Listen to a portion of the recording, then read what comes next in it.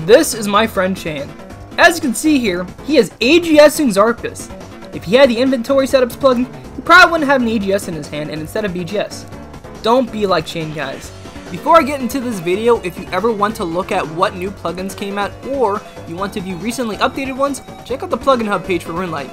It's how I found out about some of the plugins or changes you're about to see today. Plugin presets by Antero111 got a major update, now making it much easier to adjust and create new plugin presets, allowing you to update individual plugins instead of the whole preset.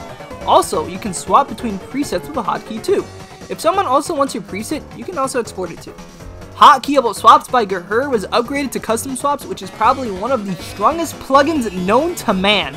It allows you to customize not only your left click swap, but your shift click swap too. Just to name some niche case yet overpowered uses, you can have it prioritize NPCs that are usually stacked on one another, like a Nylo, or even swap the walk here option for NPCs you don't want to left click on.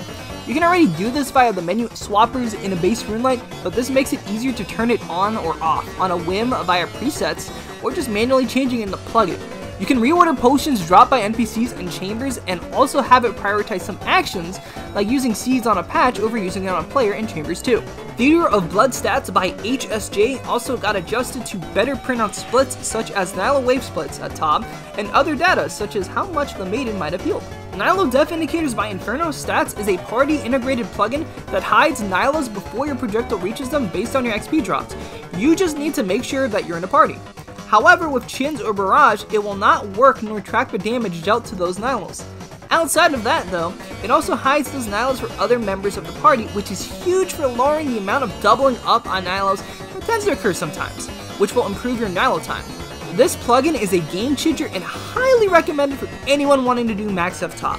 Better NPC Indicators by Buchus is an improved NPC indicator with more customizability. You can highlight NPC IDs, which allows you to highlight Gauntlet Tornadoes or specific NPCs without highlighting other ones, for example, low combat level Dark Warriors, and you can also choose what NPCs you want to have specific highlights for. For example, maybe you want to have the True Tile or the Southwest Tile just for this NPC.